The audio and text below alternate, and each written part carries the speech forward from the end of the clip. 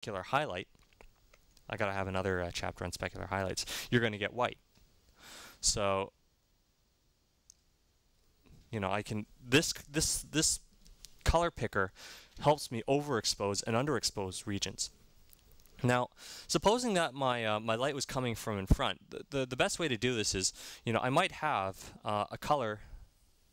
There's my midtone, okay.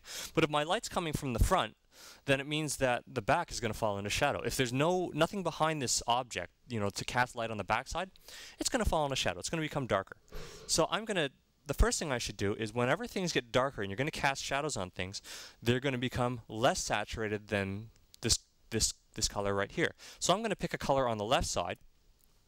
And this little uh, dotted line here, um, you can see this hatched line here, and there's this another straight hatched line of the tick mark. This is the current luminance of whatever color I put on. So I'm going to choose a color that is below this hatched line, somewhere along here, and a color on the left side so it's desaturated. So maybe it'll be, eh, I guess, about there. I'm just eyeballing it. So this color, uh, yeah. I've chosen a color that is um, darker than the current color. Now I'm going to illuminate that. It's been illuminated. And clean up my, my, my silhouette. Okay. And now I'm going to take this color here. And I'm going to choose to saturate and brighten the color.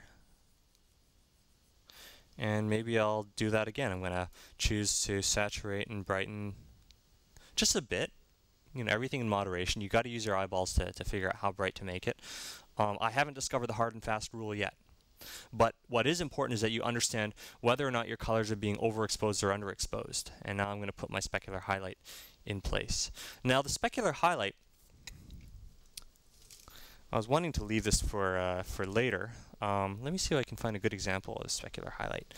Um, aha, hang on just a sec. I'm going to run run back and get something.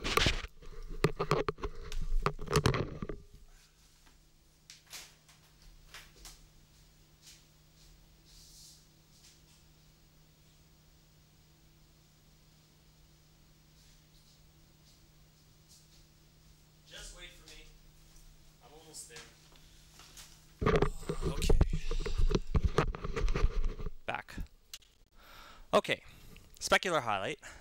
Specular highlights, highlights are more than just these little shiny little dots that we throw on things. If we look at my trusty black Nintendo DS Lite, do you see that? See that reflection right there? That's a specular reflection. See how the edge, you got this bright white edge sitting on the side of that thing? That's also a specular highlight. All that is, is that is a specular highlight of the windows outside. And because you've got this curving surface, this is like a curved mirror in a funhouse, right?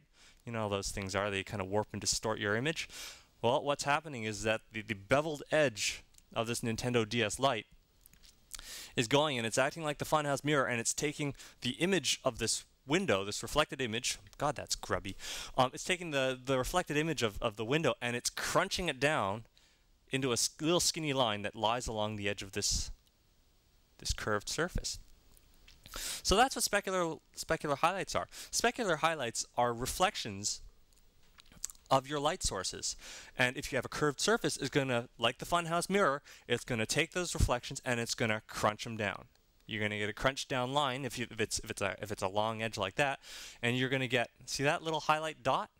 There's a, there's a little highlight uh, point right there. You're going to get a highlight point because now this corner here is acting like you know the surface of a sphere. It's, it's, it's acting like a quarter of the sphere. So it's taking this whole image and they're all just getting crushed down into, the little, into a little line, whoop, up into a little tiny point like that. So that is what a specular highlight is. Specular highlights are just reflections of light sources. Now, the thing is that not only are, is the reflection of that window getting crunched down into the line, everything else is. You know, the, the, the, the, reflections of my wall, the reflections of my ugly face, you know, these are all getting crushed down into, into that little area. But the difference is, is that the, the highlight of the window outside, the, you know, the, the window outside is just so much brighter it's so much brighter than whatever secondhand light is bouncing off of my face that really the only thing that we, we can see, you know, is the is you know is that specular highlight of the specular, you know, is just the reflection of the light source. Everything else is just too dim for us to notice. So that is what a specular highlight is. Um, you know, a, a mirror. This is a specular reflection as well. Okay, but again, the thing is that this thing is is if this is a, a diffuse reflection, means that um, the light is completely changing its direction. It's it's going from all directions. You know, it doesn't matter where the light comes from. It bounces in all directions. Since this camera happens to be in one of those many directions, some of that light is scattering and it's reaching the camera. And it is nowhere near as intense as the kind of reflection you get off of this, you know, off of a direct light source. Well, even that is an indirect light source. That's that that's that's the difference. That's why you don't see specular highlights caused by, you know, secondary, um, secondary reflected light sources, right? It's only when you have something that is 100%, well, or close to 100% specularly reflective, will you actually start to see everything else besides just the really really bright outdoors.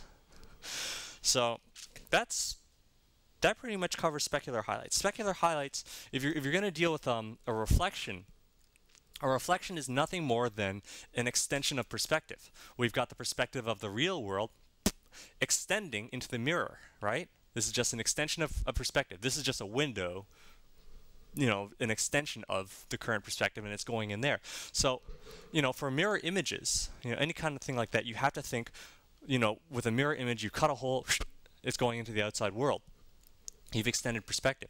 And when you do the same thing with specular highlights, well, since a specular highlight is a specular reflection, it's the same thing. It's an extension of perspective that may or may not be distorted by whatever surface you've got. But as long as you have, you know, flat planar surfaces, like this is a flat planar surface, you're going to get a, an undistorted, but, you know, an extension of perspective. So that means that whenever you deal with a, a specular highlight, the placement of the highlight is very, very important because right now, you know, this, this planar surface, You'll only see a, a specular highlight if the surface is angled in such a way that it's going to catch. It's going to catch the, the reflected light and you know smack it into your face again. Um, so the same thing can be said for any kind of um, specular reflection, right? I, I, don't know if you can see much of a specular. Oh yeah, you can, there you are. You can see the funhouse mirror effect of, of the, the windows. And that's because the surface, as it curves, it there's a certain angle because it's a curving uh, it's a curving angle, right?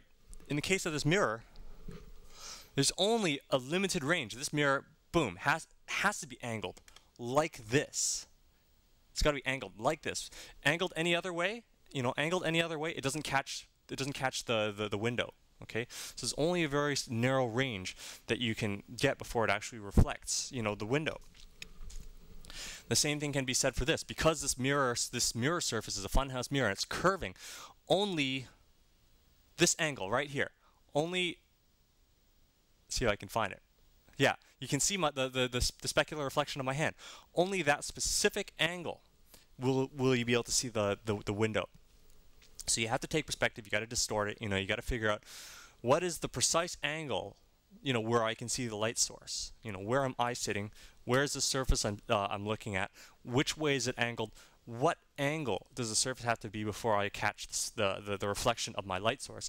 That's where you put the dot. That's where you put the, the specular reflection. So whenever you move around or your object moves around, your specular reflection is going to start changing.